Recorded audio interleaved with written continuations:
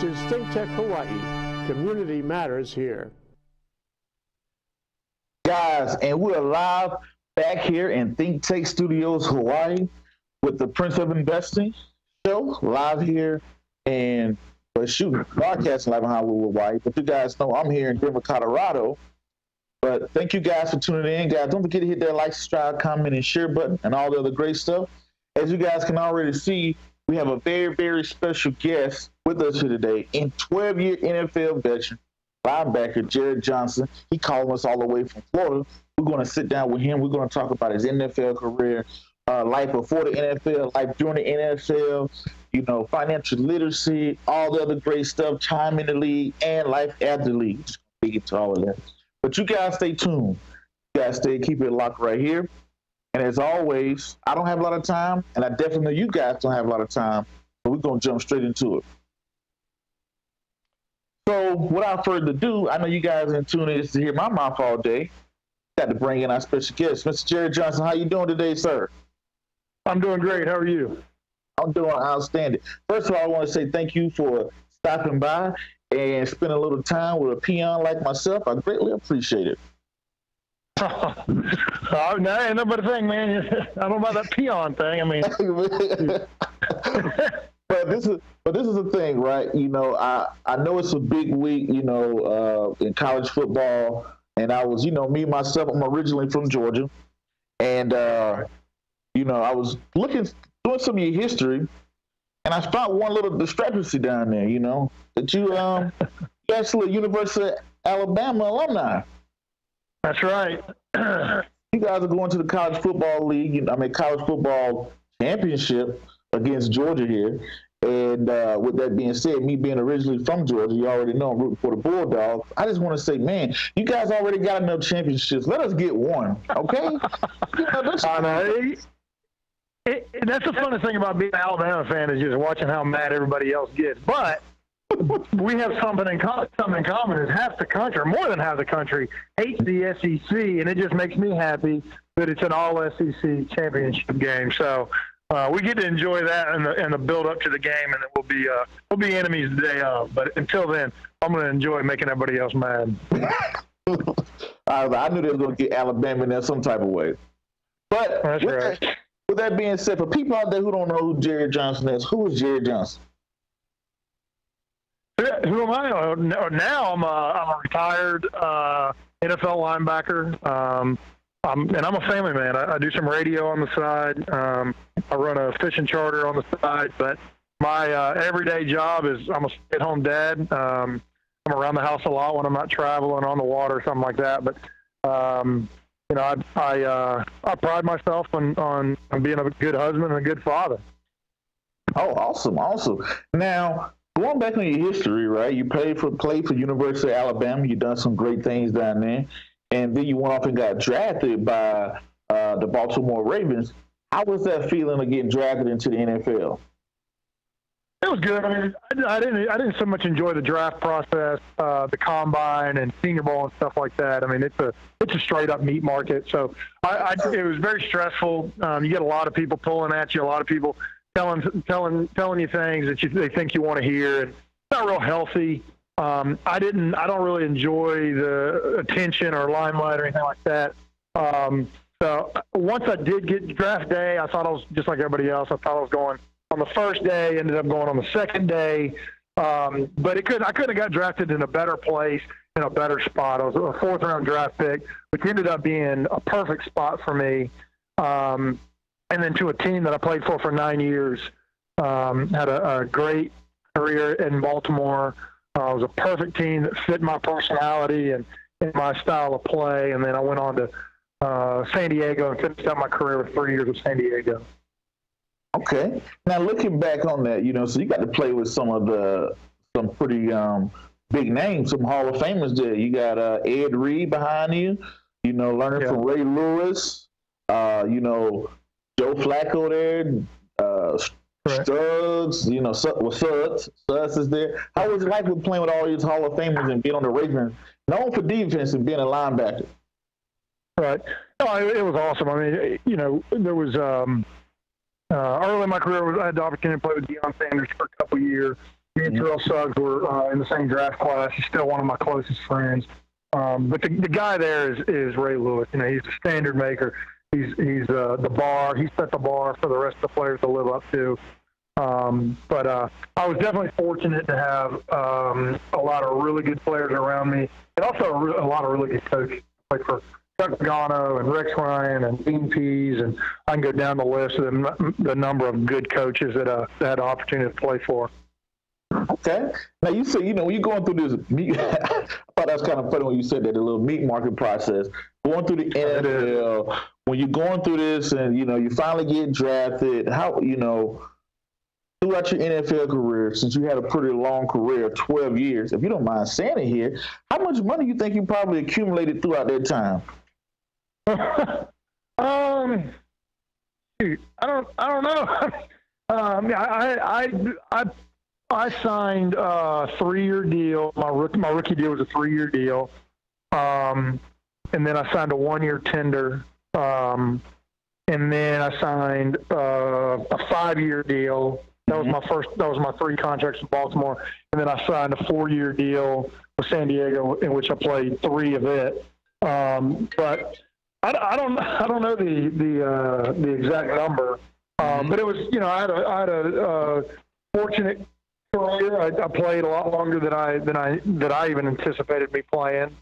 Um, you know, and it was uh, you know it, it was um, it was definitely I had the opportunity to live a dream. Um, but finance, but money wise, shit, I don't, uh, shoot, I guess I had to add it up. okay. Well, you know, since you know when you make that type of money, you don't even know what you made. You probably know probably got a couple million. Pretty sure it was a couple millions, right? But throughout, throughout, that, throughout that time, you know, so you, you guys know who to call. You need to borrow five dollars, you know. so, but uh, throughout throughout that time, did you make any investments? Yeah, I did. I've I've uh, I, I learned a lot. My, my financial career, what I call you, your uh, your your uh, focus outside of football and family. You know, um, there definitely become you, you definitely take on a lot of responsibility once you start making money in the NFL. Um, things definitely change. Uh, you don't particularly change, but um, a lot of people around you, the way people view you. Uh, and I remember the first time because you know I was you know I was a C average student. Um, you know, I was your typical jock. I was a, you know, I'm, I'm from the country, very small town.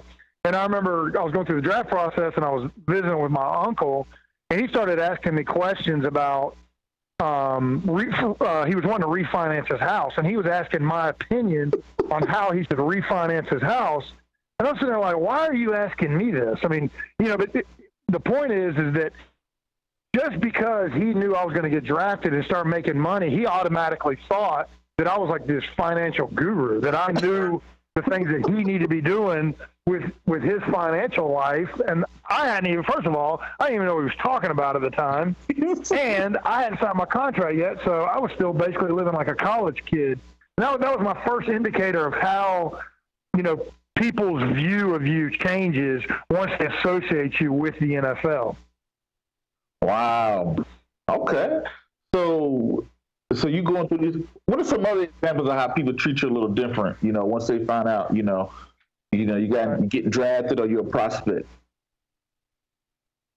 I'm sorry, can you repeat the question? Like, what are some other examples? Like, you had the example of your uncle about refinancing. How, what are some yeah, other well, I mean, yeah, Did you you, get you could new just be out socially. Yeah, you could be out socially, be at a bar, a social event, or whatever.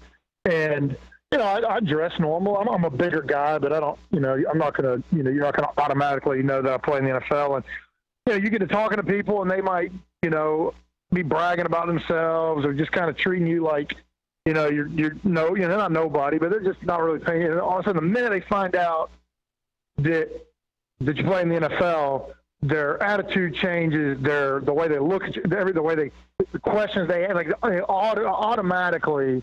Um, there's one thing about the NFL is it automatically makes people's viewpoint and like they almost you know they're either intimidated by you or they like want to start bragging about themselves they're like measuring up or they're they're kissing your butt and they're telling you how great you know but nobody it's it's rare for somebody to meet you and just treat you like a normal human. They're always either going to go in a negative way or an overly positive way. And a lot of times I'm like, hold on now, you were just talking to me normal a second ago before you signed on a play, and also finally you play, they're going to treat you a different way. But you just you got to learn to deal with that. One thing I, I always try to do is is treat everybody the same, no matter if it's you know if it's a bum on the street or a, a, CEO of a company. Everybody's the same. You know, we're all created by God and are equals. Um, the only way, the only thing that's different is, is the way you treat people, the way people treat you. Well, I would say, you know, to contribute to that, you know, when you guys get to the NFL, you know, they make you guys seem larger than life. You on television, you know, right. what do you eat? What do you drive? What do you do every day? And it's zooming in on your face, and you're on prime television, and you know, it's a multi-million dollar, billion dollar marketing plan placed behind you guys. That you know, right. when you see someone in NFL, you're like, oh wow, man, you're in the NFL, or you was in the NFL, or you're going to the NFL. So people kind of that's kind of funny that you say some people go over the top with bragging about themselves and measure up, or they become intimidated. So, right. but but now the question that you know financially, it seems like you did pretty well with planning to leave for 12 years, and now you're just you know hanging out fishing and just being dad and husband. Now, right? Yeah, I was. Um, I was. Um, I was always, you know, um, I think the be- best thing that I did financially is that I kept it simple. I understood. I made a budget um, every year based off of my lifestyle and my income and the things I wanted to get out of whatever I was making that year. Now it started lower. My my rookie my rookie contract. You know, you're as a rookie, you're not making near as much money and I remember my first game check, I was making like like seven thousand a week, and but that's that's only that's for the games you play. So that's sixteen games plus a bye week. So seventeen checks, and um, I would take five thousand of that, and I'd put it into savings, and I'd take two, and I would go to my bills and you know my basically went into my checking account. Now as the years go on and you start making more money, that obviously changes. You know, that number changes, but the philosophy that the majority of it is going to go to savings and a portion of it goes into your checking and kind of your lifestyle. It goes up as, as your salary goes as you as you get to be a veteran and you start making more money. Um, but I never, I never, I never deviated from that from that plan. You know, I never changed from, you know, I didn't look at my salary as what they had slotted in my contract. I looked at it as no, what what am I paying myself to live off of, and the rest of it is all going to whether I have a, a real estate plan or just my say. Most of it is just go straight into savings mm-hmm. um, or my or my portfolio, and, and I did that for my entire twelve year career. Okay. Now, when you say you made investments, what type of investments did you make, if you don't mind me uh, asking? Well, you know, I made some dumb ones early. Um, you know, I, I, I, had a financial advisor that was trying to get me into some outside stuff outside of just my portfolio. Um, and I, you know, I, one of them was a, a, product that they use for.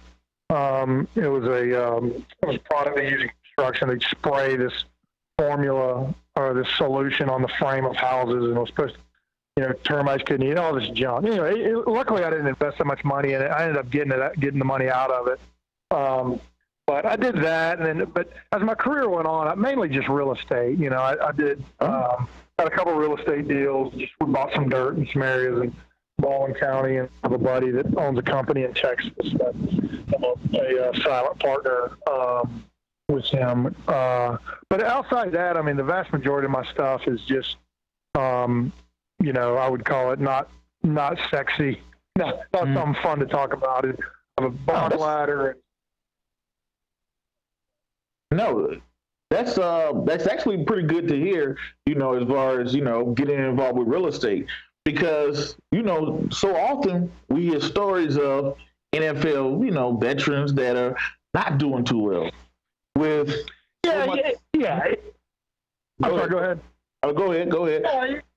Yeah, yeah um, you know, you, everybody wants to talk about the bad stories. Everybody wants to tell, talk about the stories of the guys that you know that that blow all their money and they buy all these crazy cars and houses and travel and this and that. And um, you know, I would say that that um, obviously those are the fun ones to talk about. That's what people like to.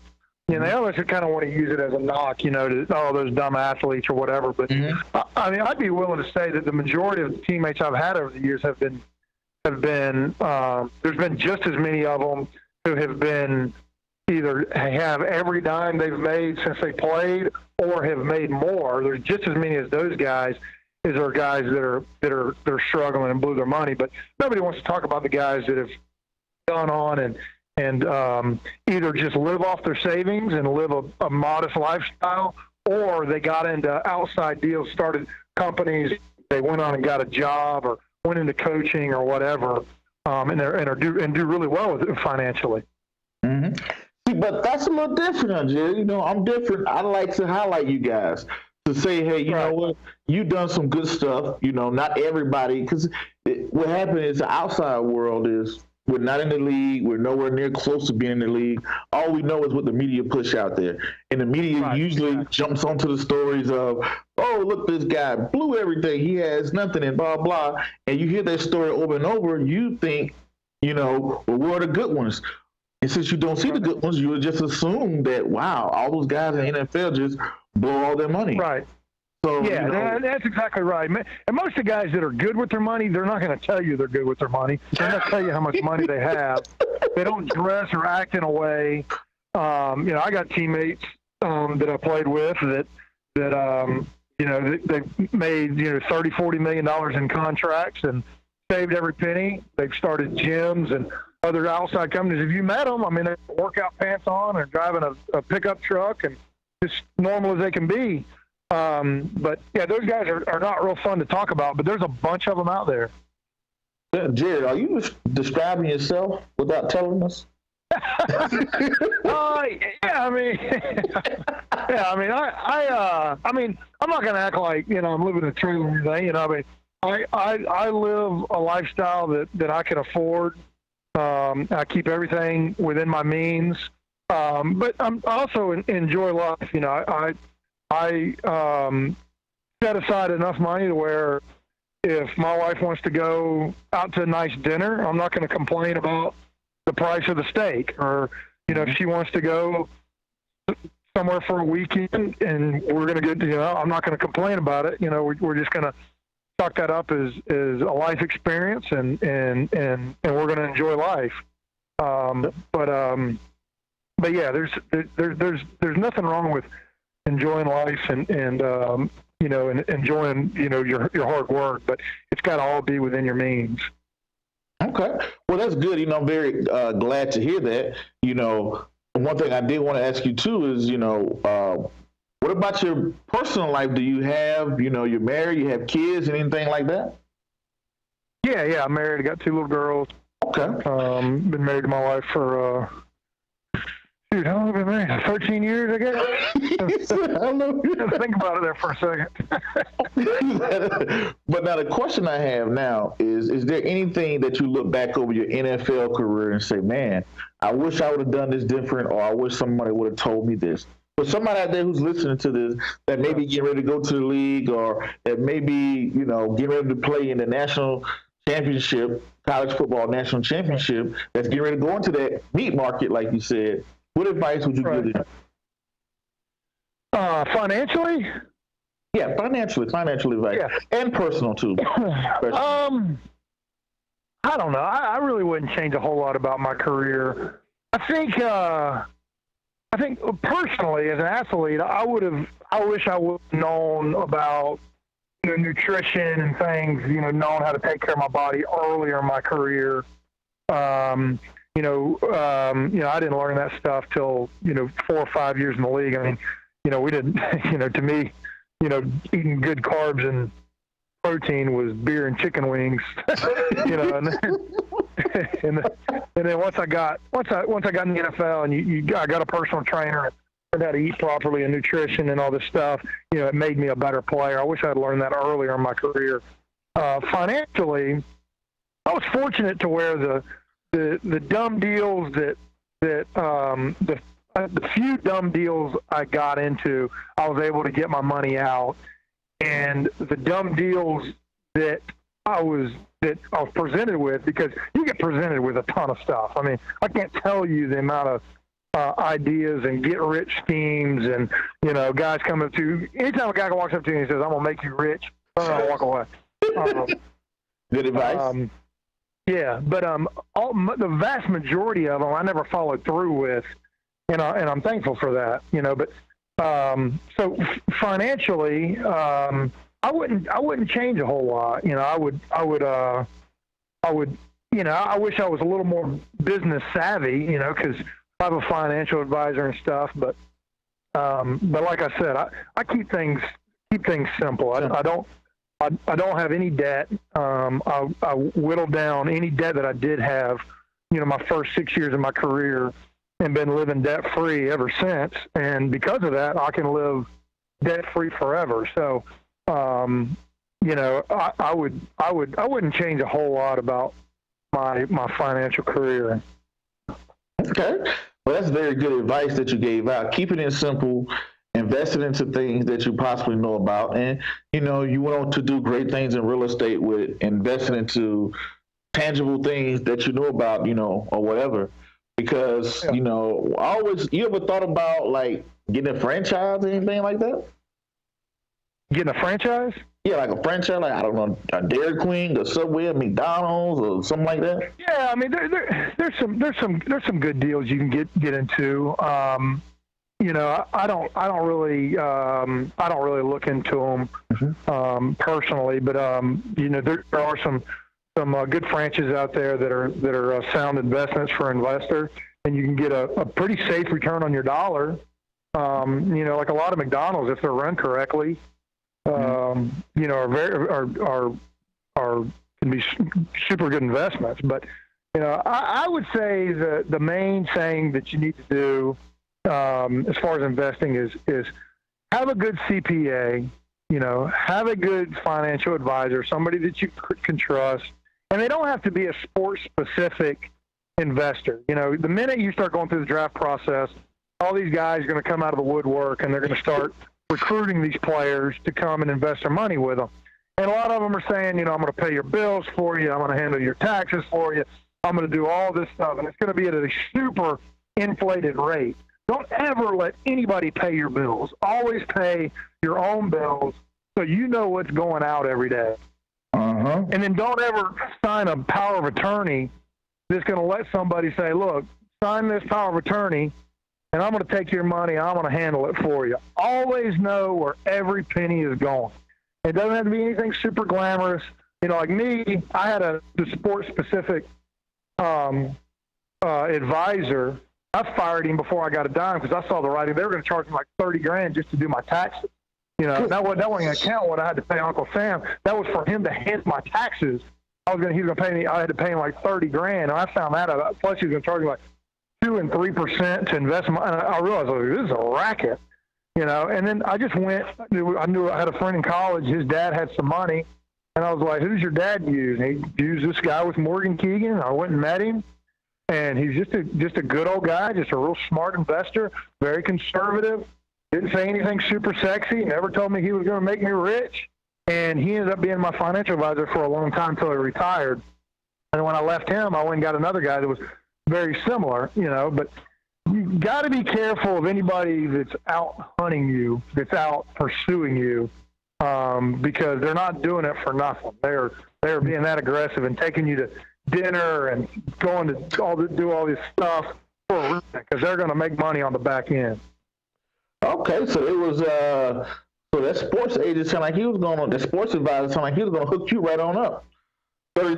yeah, yeah, yeah. Well, I mean, there's there's there, the, the agent's totally different. You know, the agent, he's going to make his three percent. He handles your contract. You know, I'm talking about I'm talking about just financial Financial. advisor. Yeah. Now, You know, uh, go ahead, go ahead, Jarret. No, no, no, that was it. Now the question is now after football, life after football. What is life after football for Jarret Johnson? Well, I mean, you know, um, financially, is that what you're talking about? Well, you know, financially, just, just my everyday life. Yeah, just everyday life. Like, what did you get into? Anything in detail, or you just like, hey, well, just keep it simple. Just do a little fishing, and you know, right. I'll say this: retirement's tough for everybody, especially the longer you play in the NFL, the harder it's going to be when you get out because, you know, it, it, when when you're in, it's not reality. I mean, you your whole life. The best example or the best analogy I've heard describing life in the NFL or retirement in general is that life in the NFL is like a road. Travel down the road, you got signs, people telling you which way to go. Uh, you have everything is built around your whole life is structured, even the off season. You know your daily routine of working out. You know your your nutrition plan. You know going to off season program. Then you're going to mini camp. Then you got your plan, your your schedule for the summer. You know working up to training camp. Then training camp and go through the season. But everything is laid out in front of you, and you just have to travel down this road and not run it off into the ditch. Retirement is like traveling in an open field with nothing but time, opportunity, and resources to go any direction you want. But there's nothing in your past that has trained you to know which way to go. I mean, you, you could. It's it's it's it's really paralyzing your first couple months out when you realize that I could go work out, but I don't have to go work out. You know, I could I could I could start a business. You know, but do I know how to run this business?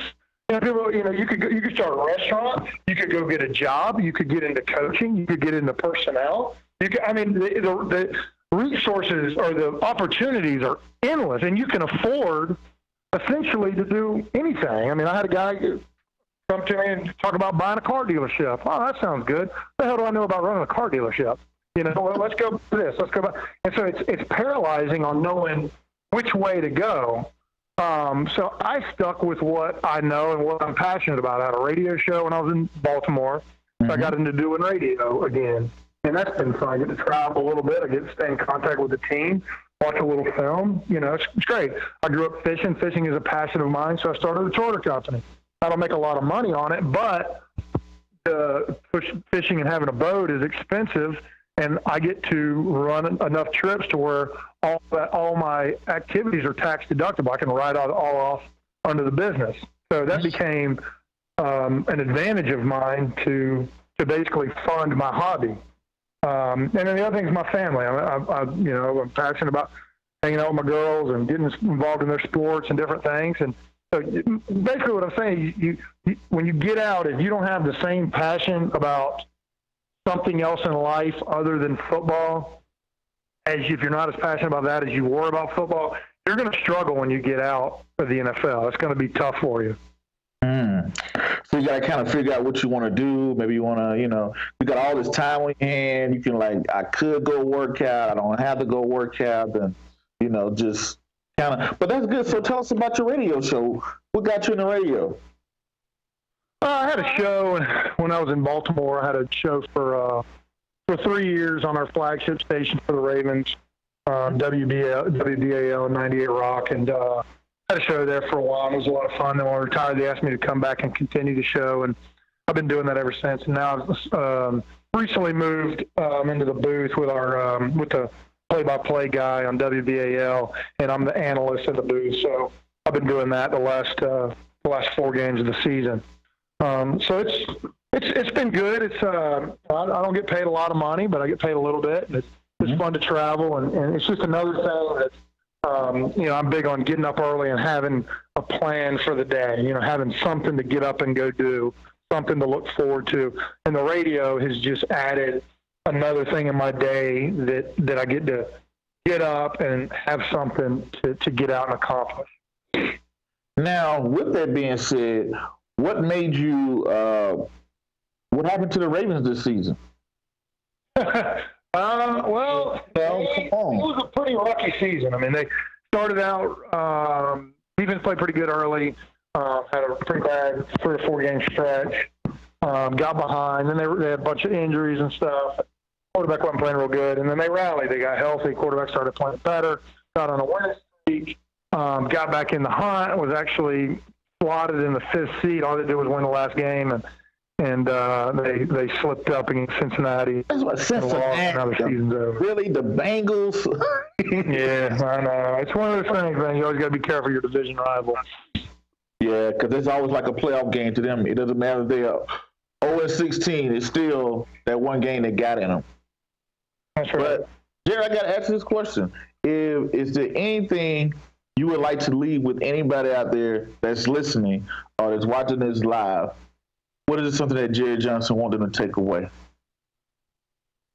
Well, I mean, I, I think the uh, the main thing, being that it's a financial show, uh, if there's any young guys out there listening, you know, never never forget who you are. Never let your money or whatever you make or whoever you become in the NFL, don't let them change you. Always be true to who you are, true to your family. Um, always live within your means, and um, you know, it doesn't matter if you're you know worth a hundred bucks or a hundred million dollars. You know, we're all human beings. Everybody else is the same, and uh, just enjoy life, man. Okay. Well, you know, I'm gonna tell you what I learned from you was to keep it simple, right? Sticking to uh, what you know, uh, maintain humble, and the biggest thing that he said in the beginning, he started a budget, and he kept it Yeah. simple. Starting a budget, uh, keeping it simple, investing into what he know. He didn't get into nothing that's super quick. Hey, I'm going to get you rich. I'm about to get rich in the next six months. See if you're going to jump on this train with me. He just stuck with what he knew and felt comfortable with real estate, and he found an advisor that uh, helped him out as well. So that's glad to hear. Now, Well, I tell you, I tell you, one of the best, one of the best words of advice a coach told me my rookie year was when we were going home for the off season. He said, "I don't care what anybody presents to you, no real estate deal, no marketing plan, nothing that anybody can present you will make you more money than you can make out there on that green grass, on that football field. So if you want to make some money, if you want to, you know, do well in life, is true. go home, work out, stay in shape, take care of your body, and focus on football because that is the greatest investment you'll ever make if you have the opportunity to play in the NFL. Because everybody wants to go out and make money elsewhere. Go work out, you know, take care of your body. You know, keep it simple. Do what you do best. Don't go out there trying to start a chain of restaurants or whatever else. You know, Mm. stick with what you know. That's true because not too many places can beat the NFL paycheck. so, but definitely, Jarret Johnson, thank you for stopping by. I really appreciate it. Um, I'm really honored. If anybody out there wants to talk to you or get in contact with you, what's the way you tell them to reach out to you? If they want to reach out to you, if you want to be reached out to. Yeah, I don't really want to be reached out. I had to throw that in there. I'm like, maybe he may want to Yeah. be on. Uh, Yeah. Yeah. So, but okay. Yeah, that's pretty much. Yeah, I mean, I, I don't really do. I do Instagram. I guess you can check out Instagram, but other than that, I don't really do Twitter or anything else. So, Okay. Well, Jarret Johnson, thank you for stopping by. Thank you for dropping the gems. As always, guys, this is the Prince of Investing. My name is Prince Dyke. Thank you guys for tuning in. Until the next video, book, podcast, whatever you see me do crazy around the globe. Peace, be safe. I'm out, and thank you.